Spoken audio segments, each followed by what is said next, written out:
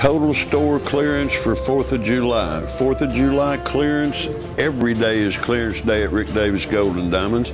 But come in and check us out. July the 1st, 2nd, and 3rd, we will be open all three days. Big store savings, big sales. And we're buying all day, every day, as usual. Thank you, and God bless.